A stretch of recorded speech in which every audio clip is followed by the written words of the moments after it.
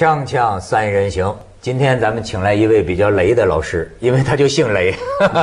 这个雷怡老师啊，是这个社科院研究近代史的。呃，上次来到我们这里谈了一回啊，清朝是怎么灭亡的，对吧？其实他还有一个研究课题，我觉得更有意思，而且徐老师你会有感同身受，因为呢，他研究共和国史。但是研究共和国史很难呐，你要研究政治是吧？很难。他选了一个角度来，日常生活。从这个新中国以来啊，咱们这个日常生活的很多细节啊发生变化。我去，我看见他这个造型啊，我就想起其中一个细节。他今天可以跟我们聊聊，因为我老觉得他这发型有点像贝多芬，所以呢，他正好是哈很深入的研究了一下贝多芬在新中国的。命运，雷老师，我觉得这个你可以跟我们谈谈。一九七一年，中美开始有来往了，一个重要访华，当时是中美刚刚开始接触，有一个重要的文化协定，中国邀请了美国的波士顿交响乐团，小泽征尔，呃，波士顿交响乐团来。那么呢，中国是沈阳杂技团到美国演杂技。因为中国只拍这个呢，相对没有意识形态，你不能不好到美国去演那个样板戏样板戏呀。嗯，哎，那美国波士顿交响乐上了，因为当时还不是公演嘛，对，都是单位内部发票嘛。但是总要演节目啊，他交响乐演什么呢？当时签的协议定好了，是演贝多芬的那个贝舞，贝舞就是命运，命运交响是命运吗？是命运，贝舞是命运。他们在美国准备好了，当到了中国之后。这边突然就是所谓的管文艺的吧，大概是江津或者姚文元，就不能演贝多芬这个嗯。贝舞命运，不能演命运，因为命运它有宿命论，宿命。这要批判的。但是你主要你不可能让人家美国人演样板戏啊，演咱们什么交响曲什么什么沙家浜啊或者什么吧，那就说让他演那个贝多芬的田园。田园，你。这第一回听这个贝多芬的时候，你是什么感觉？那就是田园。我的印象就是说，我有一个姨父，在资本家家庭出生，但自己爱好文艺。我我不懂谁叫贝多芬啊，但我看到那老头那天兴奋呐，哇，像吃了药一样。拼命跟我们讲，哒哒哒当，什么命运在敲门，我们全都不懂，看着他，我想资本主义复辟了，资本主义复辟了。就那家伙文革那么多年，没看到这么神气过。他就讲二战的时候，这个就是电报的密码，啊，打过去就是密码。现在德国电话听着是那么滴滴滴的。他说这个就代表了这个什么什么盟军登陆什么什么。其实我说这个贝多芬不是德国人吗？你们不跟德国打仗吗，你怎么用德国的音乐呢？我当时那套概念。反正，在很多在文革当中被打倒的人听来，贝多芬是他们解放的一个信号。哎，那我问你啊，你真觉得就是你第一次听的时候就觉得很好听吗？田园好听，田园我到今天还是热爱。就是你第一次听听就就觉得好听，那没得比的。那田园是好，但是哈，我那时候文化水平也低。我觉得最好听的是最后一个曲子，叫《心条旗永不落》，当滴答答当。现在每一次拉的进行曲呢，就是每一个音乐会最后加演的 angle 的一定是这个。呃，他们把它变成叫《心条旗永不落》，就这样。但是我那时我文化水平低啊，因为那个其实是比较一般的。但田园呢，那实际上盯的是好。徐老师这开车都是交响乐歌剧，也是发烧友啊。但那个时候呢，我还记得有有一首诗，不知道哪一个诗人写的，说，呃，列宁喜欢的贝多芬的音乐。我刚才要讲，我待会儿讲，我要讲的就是这个。我要讲的就是这个。锵锵三人行，广告之后见。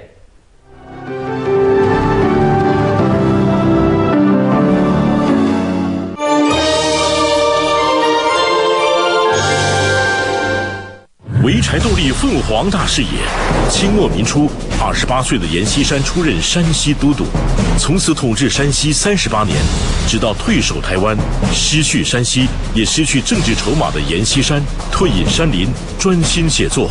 来自山西的扈从，成为他唯一的依靠。凤凰卫视独家专访阎家子孙和贴身侍卫，山西王阎锡山，国军将领生平记事。星期一至五，凤凰卫视中央台。窖藏陈酿，经典酱香，习酒窖藏一九八八。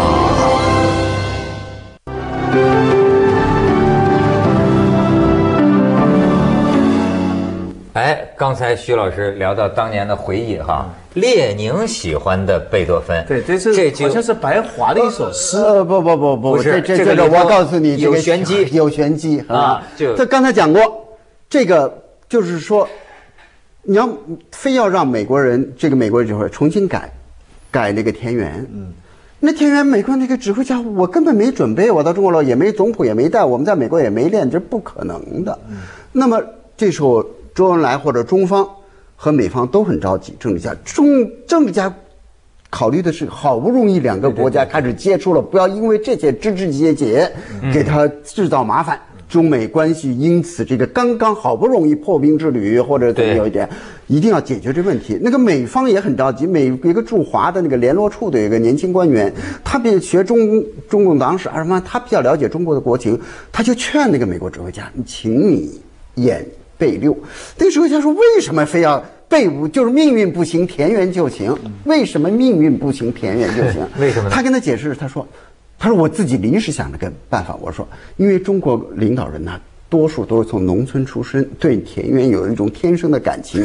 那个田园呢，这个暴风骤雨，尤其田园有一段是暴风骤雨之后，最后阳光明媚，使他们想起了对对，想起了中国革命，经过一段曲折，那种血腥，最后共和国成立，阳光明媚，取得胜利雨过天晴所以你理解他们的心情啊。这时候李德伦把自己的的贝六的那个就是田园的那个总谱啊，就借给了那个美国指挥家。他也觉得，后来我看李德伦写，他觉得很不容易，因为那个指挥家你知道，要事先要练习，每个人的总谱有自己的记号什么的，等于说。那个美国指挥家是拿着李德伦的那总谱就指挥了这个田园啊，指挥的很好，这很成功。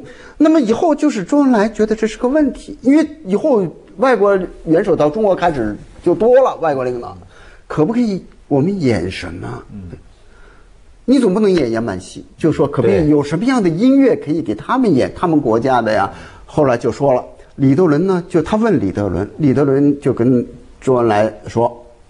有一种音乐，什么降 B 调，什么多少曲，什么什么协奏曲，什么 F 无标题呃，我呃，后来实际上西方没有这个概念的，就是降标题。李德伦就说这个没有标题，就无标题啊，所以这个没有标题呢，你因为你本来你有一个命运，他说你是宿命论，那你很多标题他会。扣上一些帽子，对说这是没有标题。周恩来一听，觉得这个挺好，可以无标题，我们可以研究无标题音乐，对就开始演了一段，演了一段。你刚才提的这个，一九七四年，批林批孔批周公，嗯，突然有一个大。有一个不大不小的运动，突然有一段时间，报纸铺天盖地都是一个无标题音乐批无标题音乐，你有印象吧？啊我有。原来这个就是批周呃对，背后背着，哎就无标题音乐就没有阶级性吗？对呀、啊他当时的那，我现在搜集了这些文章，我写过一篇文章关于这个整个的这个贝多芬中国阶级。那么他基本理论就是，无标题音乐就没有阶级性吗？音乐家是有阶级性的，无论他是什么阶级，无论他有没有标题，他是无产阶级音乐家，他写出来的音乐有什么标题，都是代表现了无产阶级的感情。他是资产阶级，他是贵族，他有没有标题？他写出来的音乐表达的就是贵族的资产阶级的所以一定要站在意识形态问题上，一定要立场要坚定哎，一定要站在这个风口浪尖上做坚决的斗争。所以这就过了几年，呃，四人帮也粉碎了，周恩来去世了，四人帮也粉碎了。那么转眼之间就到了一九七七年三月份，嗯，这一年呢是贝多芬逝世一百五十周年，全世界都有一个演奏贝多芬的音乐来来这个纪念这个贝多芬。就是说，李德伦他始终觉得中国应该演奏贝多芬。嗯，同时呢，他又觉得呢，这也是他对周恩来的一个怀念，或者说他觉得他对周恩来有愧，他是他提供的。跟周恩来说，有一种音乐叫做无标题音乐，周恩来说可以用这个，因为这个我查了周恩来年谱啊和什么，他和江青之间两个人这个有都有批示的，啊，两个人批来批去，你看周恩来始终是一个很。看着很柔柔软，像个棉花一样的。江青的总是很凌厉，嗯，实际上都被周恩来的那个给吸的那个能量被吸住了，再轻轻的反推回去。这太极拳我那篇文章里写到这些了。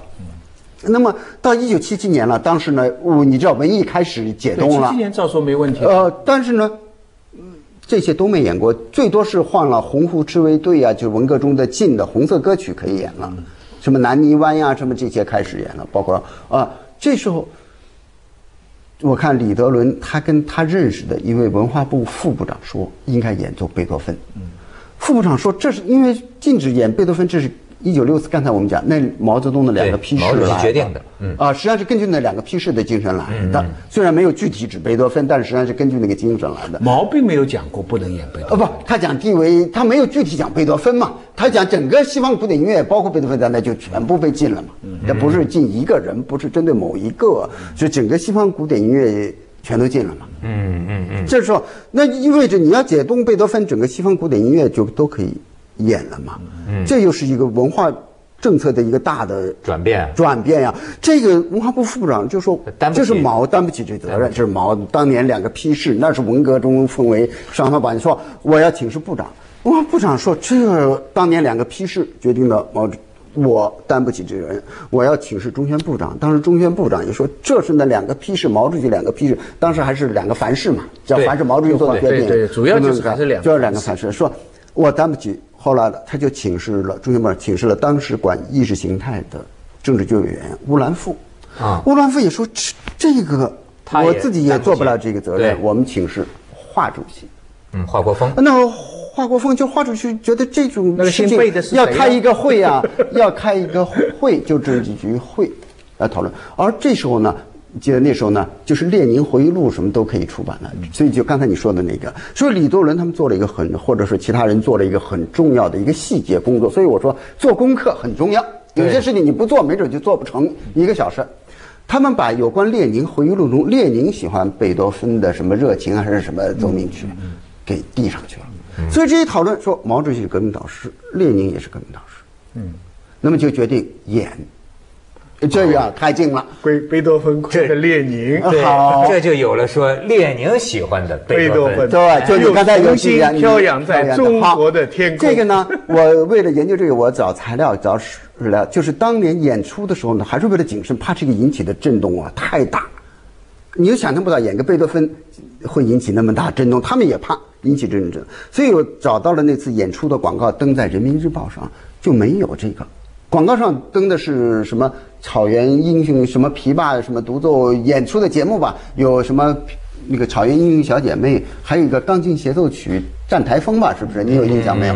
站台反正是都是这个样板的，或者是主旋律的，是根本没有广告上就没有登出来有贝多芬。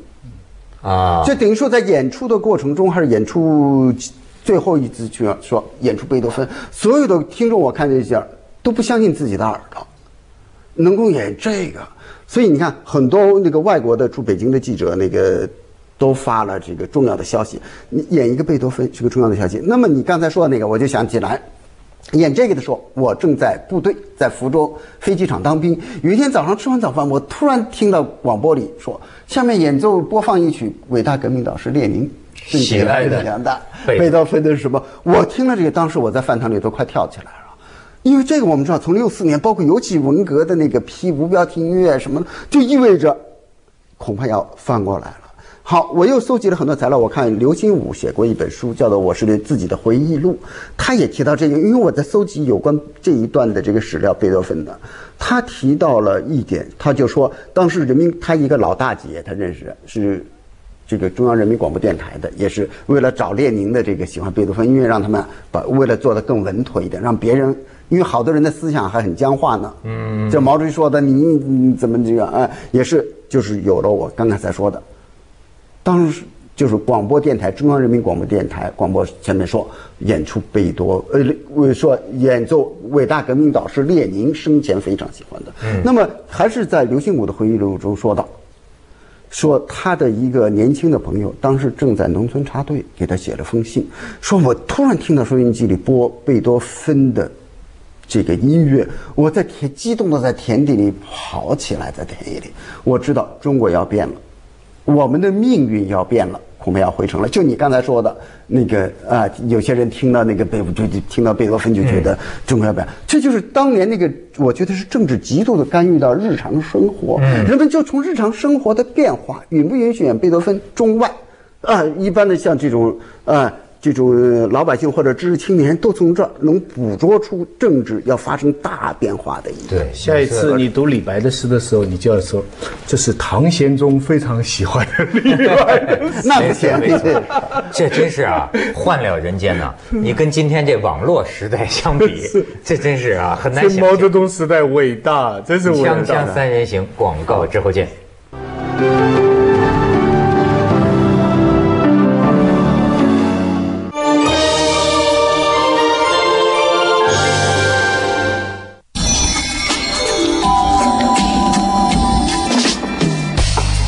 我是八号张磊。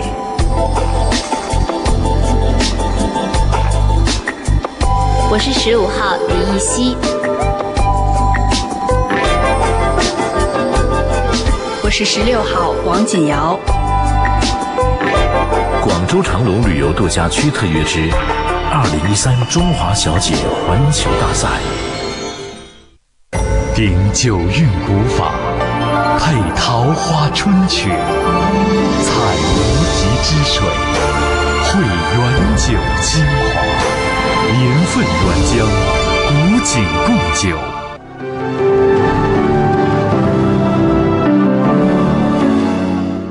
你知道，我从他那个研究里才得知啊，真的就是今天的你很难想象了。呃，曾经中国有一个时候啊，拿着话筒啊，你要在像我们这在台上，你要边走边说话，或者边走边唱歌啊，你都是被禁止的。你你是不正确。对，这为什么？呃，因为这还是一种传统的那种意识形态那种观念组织。因为我不是研究贝多芬，就研究日常生活，我是从流行歌曲在。这个就是说，改革开放前后，那么从四九年开始进啊，实际上都五十年代就开始进一些流行歌曲了啊，一些流行歌曲当然称之为靡靡之音，啊，你都想象不到，曾经那个小燕子都被批判过，你会唱吗？啊。小燕小也燕对，就是这个传花哎，这个就是因为它太软，嗯，在在我靡靡之音靡靡之音，哎，那么流行乐你知道，那在这个就什么周璇啊什么的，在文革前就被禁了，到文革那更不用说了，呃，跟爱情有关的都不行，呃，哪怕是革命爱情的都没有。嗯，那个时候演个电影《庐山恋》，那家伙那是改革开放那都是后了感觉开天辟地一样的感觉。冲破了。刘啊心武写的小说，那小说其实很不怎么样，但书题目叫《爱情的位置》。那是七九哎呀，年不得了了！对呀很多越战人给他中华谈写信啊，几千几万封，就那个标题上有爱情的位置，这里边也没讲什么爱情。所以呢，等到这个七八年、七九年，这方面改革开放开始了，那么一种新新的东西，一个技术手段开始传进来了，合适录音机。呃，没错。录，音机、录音带，还是双卡的。双卡的砖头机啊，可以翻录啊，可以这第一次合这适录音，种东西。合适录音机对我来说是跟邓丽君一起进来，对呀，我要说的就是。还有一个山口百惠，对啊就一开始的带就是这两个人的带，就这两个，就是流行音乐，就根据这个就进来了。哎，流行音乐，那么呢又开始，因为广东啊，毕竟改革开放，那么也这个港台啊，或者是叫流行音乐开始进来了。对流行音乐进来呢，那么在广州那边就先开始有一些，当时叫做轻音乐团。嗯那么广州还是走在前面，后来上面就不许，这边就规定说不许，不许有这种这靡靡之音呐、什么什么。音乐应该是鼓舞人民、教育人民啊，革命战斗啊，什么这种怎么能这样呢？你像那种穿的，当时认为是穿，现在我看电视台几乎都是这样了。当时认为是穿的什么奇装异服啊，抹口红啊，戴项链，对女的拿着男女拿着话筒啊走来走去，这认为这就是因为当时允许的唯一的就是一个杆儿事儿了，立式的 麦克风一站那儿对唱，站不准动连啊那个李谷一的项链都被批判，气声唱法都被批判。对对对气声啊啊，那么呢，像这个是禁止的。那么从广东那儿呢，他们还是会这个遇到红灯绕道走，就给上面打报告，说我们是只在几个对外的接接待外宾的旅社里面搞音乐茶座。白天鹅什么白云宾馆啊，就类似于这个，啊，这样的就开始。那么呢，他那个毕竟是改革开放了，控制啊是不如从前了，一些这个。乐团呐、一些歌舞团，有些民间就可以搞一些乐团了，包括一些官方的。那个拿话筒那就是拿着把话筒走来走去啊，你唱轻乐对不对。那些那音协啊什么的一些老人就看不惯这个，就明确注出来，像这一类，他做了一个很多的标准，不许什么穿裙子多短呐、呃，涂脂抹粉呐、有很多。其中有一点就是不许拿着这个麦克风不在台上走来走去，这就是边杜勒斯。要和平演变我们三四代的一个其中一个阴谋，哎，所以一定要抵抗。啊，所以关于这个流行音乐，在中国也是一个很复杂的故事。所以我就是说，啊，包括那个流行音乐之后，就是那个什么更西方来的，就是什么摇滚呐、对对对那是进了很长时间。包括跳舞，我记得就是我专门也写过这方面文章，就是文革前，文革最早的时候，就文革前吧，六四年以前是可以跳交际舞的，后来就禁止了。从六四年搞四清啊以后，到文革中禁止了。等到文革后，又开始最开始我们刚上大学七八年就恢复到跳集体舞，使我想起五十年代那种青春圆舞曲，噔噔滴噔噔噔对三步啊对对吧？啊，马上从集体舞可以跳交际舞了。哎，但是马上就规定说，不能跳那个叫 disco，Disco 哇，很长时间规定是不许跳呃，disco。跳交谊舞呢要保持距离，不能碰到。你再回头看今天的什么《中国好声音》啊，真是换了人间了。换了人间，真是换了那是啊而且听说当时这个跳这个 disco 的时候，听说还发生这个争议嘛？嗯对呀是有个人说什么呢？说这为什么要跳 disco 呢？那扭秧歌不行吗？年轻人？对呀、所以呢，当时呢，呃，当时的那个胡呃胡耀邦嘛，还是比较开明，他就说，像天津人也喜欢，年轻人喜欢，那那就我看迪斯科也没什么不好，就跟锻炼身体也很像嘛。现在那么好啊，disco 可以对呀、后来老年人都跳了，对这中国的非要老年人认可。它才具有合法性。对啊，完了之后，当时一个这个从延安来的一个老音乐呃这个老文艺工作者老文艺工作者吧，革命人就说，那我们可以扭扭扭秧歌呀，扭秧歌就是这个革命的，就是革命 disco 代表我说啊传统，你为什么非要像西方那样扭这个？呃，但是实际上你抵不住。后来我记得是报纸上，大概是中国青年报发过几篇文章，其中有一篇还谈到。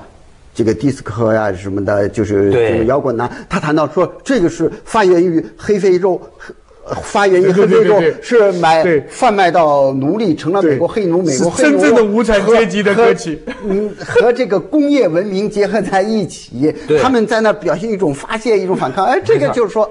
阶级根源搞清楚了，阶级根源这 个合法性也有了。这个我曾经写过文章，也谈到，就是说中国这个问什么事情都要问一个姓什么，这个传统很深厚，一直到嗯曾经吧，现在要淡多了，你穿什么？几十年的啊中国音乐与阶级斗争，所以，当他想为你辩护的时候，为你这个寻找合法性的时候，他也得找一个这就是所谓的政治挂帅啊，政影响了中国多长时间？对。但是我记得小我们小的时候最神秘的就是那个贴面，贴面舞会，就是好像当时严打呀，抓了很多对黑灯舞。黑灯舞会，黑灯，我记得在苏州好，你觉得只有高干子弟才能搞这个？啊？每每次舞会里边有固定的两个黑灯时间，啊。黑灯两分钟，要是没那个东西，去的人就少。不过瘾，不过瘾嘛。对对对对，其实当时这个严打也打得过分了一点，他有些真的就是抱着他接着为您播出没有西安楼观文明启示录。始终要保持警惕啊！对，所以啊 革命尚未成功啊！所以雷老师这个这个。